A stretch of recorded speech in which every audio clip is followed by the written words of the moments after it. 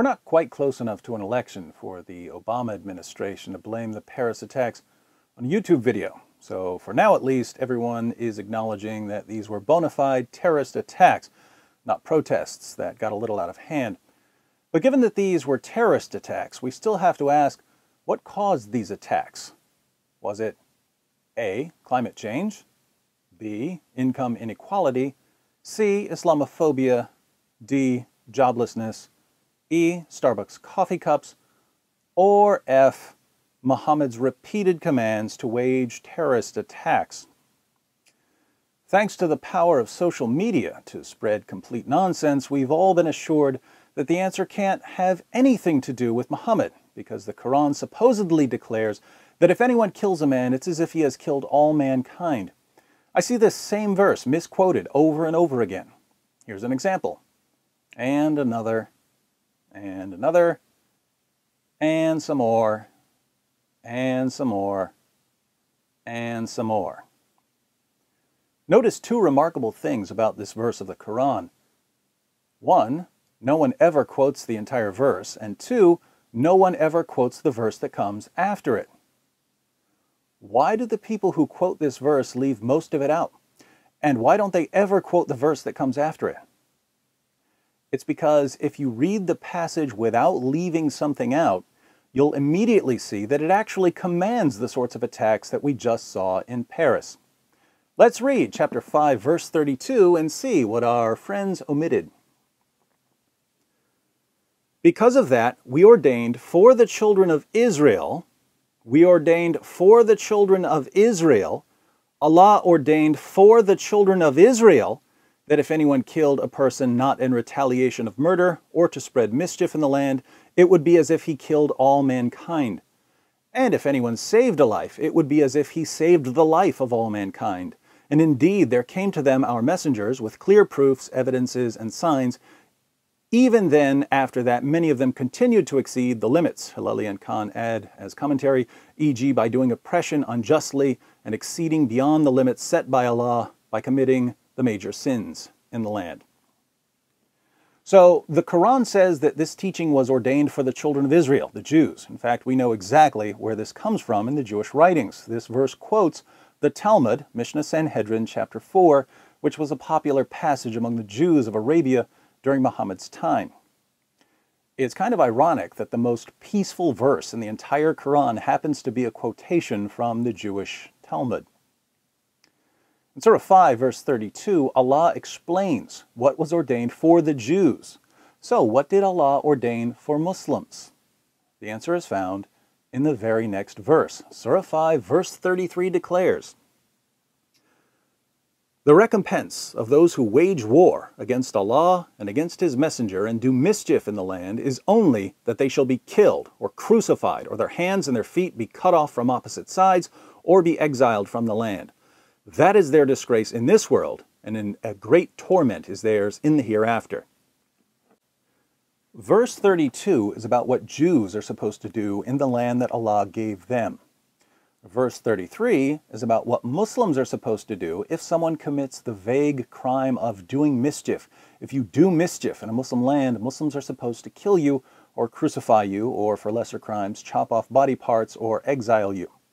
So, what counts as mischief? Lots of things apostasy, preaching a religion other than Islam, adultery, becoming too westernized, things like that. If you violate Sharia, you're making mischief. By opposing Sharia, you've declared war on Allah and you have to pay. The most extreme form of mischief, of course, is launching a military attack against a Muslim community. That's definitely a death penalty. Now, according to Islamic teachings, not according to your opinion, according to Islamic teachings, has France made any mischief in Muslim countries? Yes, a lot.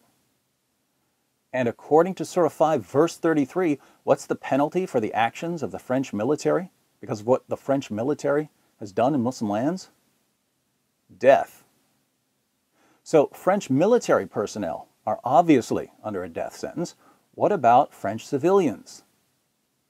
Well, in Sunan ibn Majah 2759 and Sahih al-Bukhari 2843, Muhammad said that people who equip soldiers receive the same reward as the soldiers. In other words, it's not just the soldiers who are guilty and deserve death, it's also the people who fund the military, the people who pay the bills so that soldiers can be soldiers. They're just as responsible, according to Muhammad. So, who pays for the French military to make mischief in Muslim countries? The French government, which is funded by French taxpayers, ordinary French civilians. So if the average French civilian is just as responsible for causing problems in Muslim countries as the French soldiers who fight in Muslim countries, what's the penalty? Death. Now, think about this. Surah 5, verse 33 of the Quran justifies attacks not only against French military targets, but also against everyone who supports the French military in any way. This verse justifies the terrorist attacks that just killed well over 100 people in Paris. But instead of quoting verse 33, Islam's Western apologists go to the verse before it. They cut out the part about this being a teaching of the children of Israel, a quotation from the Talmud, and they claim that their severely edited, distorted verse, ripped from its context, proves that Islam is a religion of peace and tolerance, and that anyone who does what the very next verse commands is not a true Muslim. Now, what does this sort of misrepresentation and deception ultimately accomplish? It's great for convincing westernized Muslims who don't bother reading the text that their religion condemns terrorist attacks, and it's great for convincing non Muslims who don't bother reading the text that Islam condemns terrorist attacks. But twisting and distorting a Quran passage until it means the exact opposite of what it actually says will never change the minds of the people who read the text and are willing to do what it says.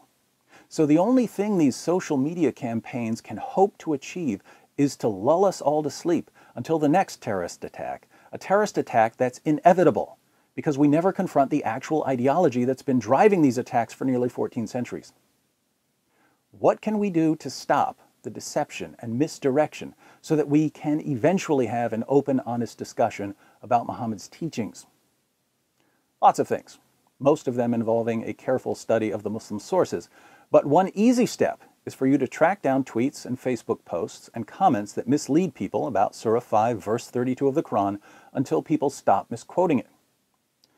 There are only a handful of passages in the Quran that can be stretched into a condemnation of terrorism the sooner we get past them, the sooner our Muslim friends will have a more accurate picture of Islam so that they can finally decide whether this book is worth following.